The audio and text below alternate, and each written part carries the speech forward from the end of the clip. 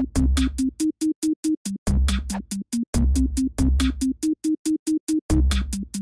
Health South may not be a name that everyone knows, but they were responsible for one of the largest accounting scandals of all time. It is an incredible story about what was once one of the most successful, fastest growing businesses out there. Within the span of 14 years, they grew from nothing into a Fortune 500 company. They were on that list every year from 1998 to 2003. Then, in 2003, it came out that it was pretty much all a big lie. Health South was intentionally messing with their financial statements to make themselves look better than they actually were, essentially lying to the public and scamming anyone who had invested in their stock or had any stake in the company. It was inexcusable. I honestly get a little upset when talking about crimes like this, but I think that it's important to do so. So here's my simple overview of the infamous Health South accounting scandal. The person at the center of all this is Richard Scrushy, who I have to admit does have some inspirational elements to his story. In the early 1970s, he was actually a married teenage father who dropped out of high school and was struggling to make money. But it was that struggle that motivated him to return to school where he was able to obtain a degree in respiratory therapy and by the early 1980s had worked his way up to a vice presidency position at a healthcare management firm called LifeMark. Now, being deeply involved in the financial end of the medical industry, he was well aware of everything that was happening and identified a strong demand for these outpatient rehabilitation centers. I'm not talking about the ones for drugs, but more along the lines of physical rehabilitation. These centers were already starting to become more common because they offered a cheaper alternative to the traditional medical process. Hospitals have a high overhead, and you may have experienced that if you get anywhere near them, it gets expensive. So in many cases, a much simpler rehab center would prove to be just as effective at a lower cost. They can help you avoid surgeries, get back to work quicker, and that's just good for everybody. In 1984, Richard Scrushy quit his job at LifeMark to start a business centered around this concept. He even convinced four of his coworkers to join him. It was originally called Amcare, but the name was quickly changed to Health.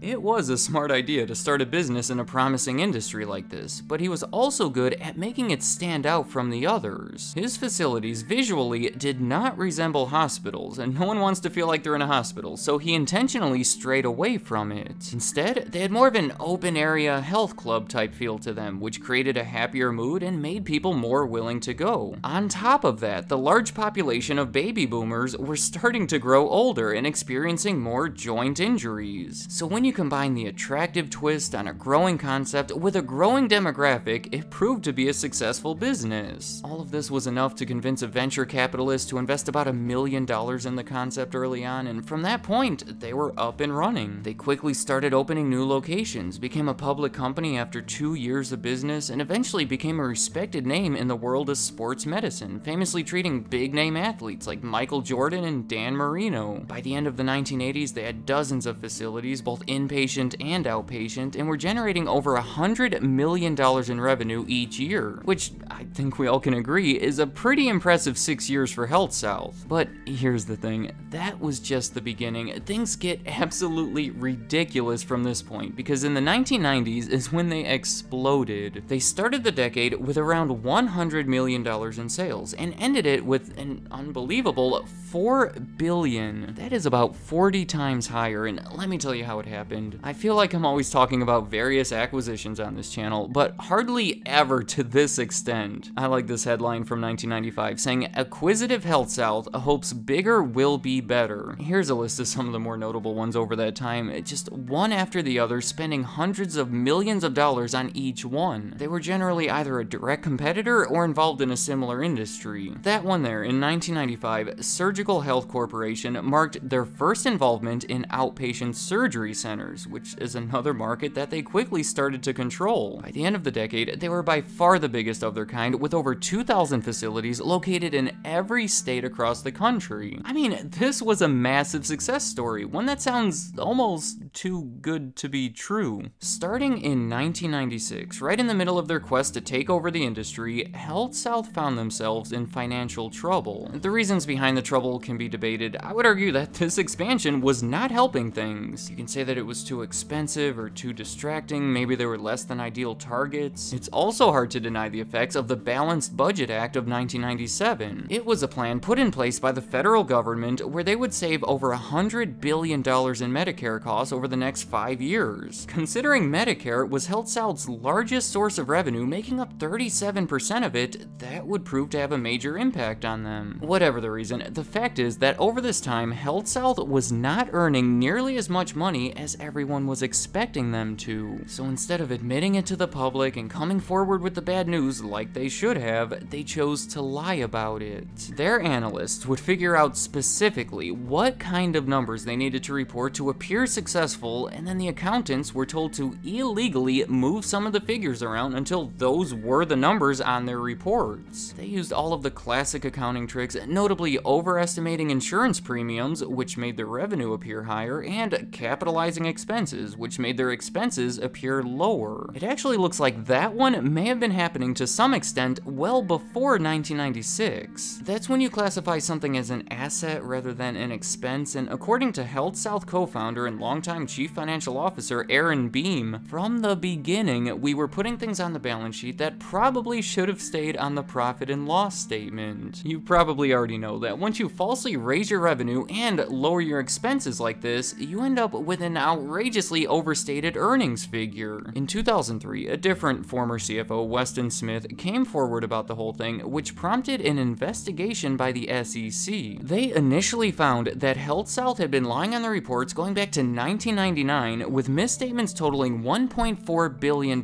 which was later believed to be almost double that. These are major misstatements. Like in 1999, they told the public that they made $230 million when in fact they lost 191 million. I think we can agree that these statements did not reflect the state of the company, and I'm going to tell you why that matters so much. And it mostly comes down to their stock price. Say, if I were a potential investor back then, and I see that they made $230 million last year, I might be motivated to buy that stock. But if I had instead seen that they had lost 191 million, it might be smarter to stay away. If earnings are high, more people are going to want to buy it and the price goes up. They wanted that stock price to be high for a few reasons. For one, the acquisitions, many of them were bought in part with that stock. If the price is high, it can be used to buy stuff, and then it's a cycle because the price continues to rise because they're expanding. The second big reason is for personal gain. Many of the executives who ordered the fraud to happen owned a bunch of Health South stock and wanted to see the prices go up, like possibly Richard Scrushy, the founder and CEO, personally made about a hundred million dollars from the sale of it. To put it simple, Health South couldn't live up to these high Wall Street expectations, and for reasons both personal and professional, that motivated the executives within the company to make these fraudulent figures. The man that many people believe is behind all of it is Richard Scrushy. I mean, he was the founder, the CEO, and the overall face of the company. If they were misstating their earnings by literally billions of dollars, you would expect he would be involved, or at the very least know it was happening. Well, after an extensive six-month trial, during which multiple executives within the company, including five former CFOs testified against him, he was found to be not guilty. Now, I should mention that he was found guilty in a separate trial soon after, where the charges included bribing a governor, he served six years in prison, but as far as this whole fraud that I've been talking about, he was found to be completely innocent. As I've said, this scandal came to light in 2003, while most of the bigger accounting scandals, including Enron, happened a year or two earlier. The legal response to all of those was Sarbanes-Oxley, which is an act that anyone who has studied or been involved in accounting is now familiar with. It was practically custom designed to prevent this exact sort of thing from happening. See, with the Enron case, a big issue was their CEO Jeff Skilling denied that he knew anything illegal was happening. He practically said that he knew nothing about accounting and that whole department was doing stuff without him knowing, which is silly, but Sarbanes-Oxley addressed that. A big part of it said that the CEO now had to attach his name and certify that the financial statements fairly represented the company. I think that the hope there was that they can no longer claim ignorance, because they now had to sign off on those statements. Well, this Health South scandal was the first time Sarbanes-Oxley was tried in court, and, well, it didn't work very well because Richard Scrushy was able to use a very similar defense. I signed off on uh,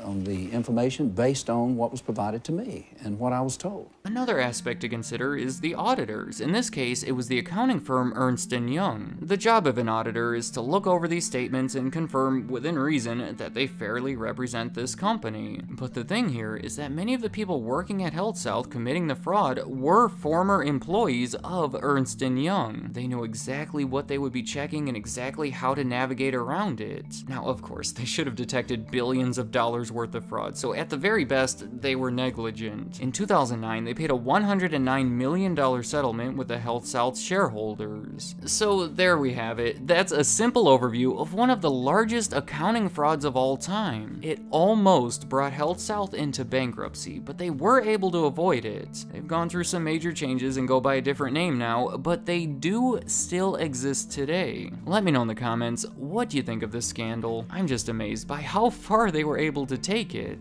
$2.7 billion in earnings were misstated, and they were somehow able to keep it under wraps. The big questions here are whether or not Ernst & Young or Richard Scrushy knew about it. Just looking at the facts, it seems like they must have, right? On the positive end, at least we can use this as an example, and hopefully learn from the mistakes of the past and prevent things like this from happening in the future. So any thoughts you have about the infamous Health South fraud, leave them in the comments. I'd like to hear what you have to say. Thank you for watching.